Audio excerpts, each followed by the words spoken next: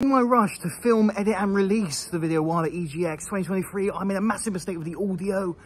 I hopefully have fixed it now. Very sorry about that. Ooh. Enjoy.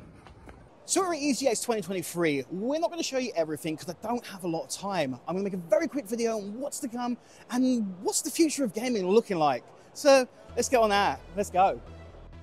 First up, we have the future of play. This is looking at some alternative controllers for games. Um, some of them require twisting, some of them require pushing, some of them require smashing. It honestly depends on what's going on. Uh, look at this one here, lots of lights on that one here. I'm not going to talk the whole way through, but I'm going to give a little introduction to what's happening. Here we have the Nintendo section, and this is going over some of the new Super Mario Bros. games. Uh, Super Mario Bros. Wonder, I believe it's called. However, because by myself, I didn't get to film myself playing the game, but I can still show you other people playing the game, which is pretty cool. Moving on to the Sega section, and they're showing their newest like games, Sega Superstars, and you want to test your reactions on this thing here. That guy's pretty cool, he's actually pretty fast. At TikTok, who are attempting to move into the gaming realm as well as everything else, and they also sponsor an EGX this year.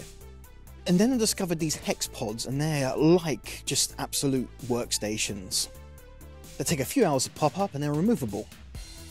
And this is the CyberPower section, and in a minute we're about to go onto the cyber bus. Look at that cyber bus. Um, and it is just like all these games, stations, um, pretty cool. Um, I'd like to see this travel around the country, to be honest. Now I know it seems like I'm whispering, but the truth is I'm actually in like a recording booth doing this voiceover because it's been so noisy out there. So it's, it's turning out really, really quietly spoken as this microphone as well. I don't know what's going on. But anyway, look at these cool arts they you get there. It's not just about gaming, there's also like, you know, retail spaces. And then they have the retro gaming section over here where you can actually play all these retro games. Um, I want to say retro, but they've got things like Xbox Series X, and it's like that's now a retro game apparently. Uh, and this is the first impressions as you come in. Look at that. And then this was the queue, which was actually pretty small. And of course, I'm going to show the food um, because you have to show what food's on offer wings and like rices and stuff like that. Uh, I'm going to say goodbye now because when I do my outro in a minute, I forget. So this wraps up EGX 2023. My suggestion is you come by and check it out. There is a lot to see. I haven't shown you it all.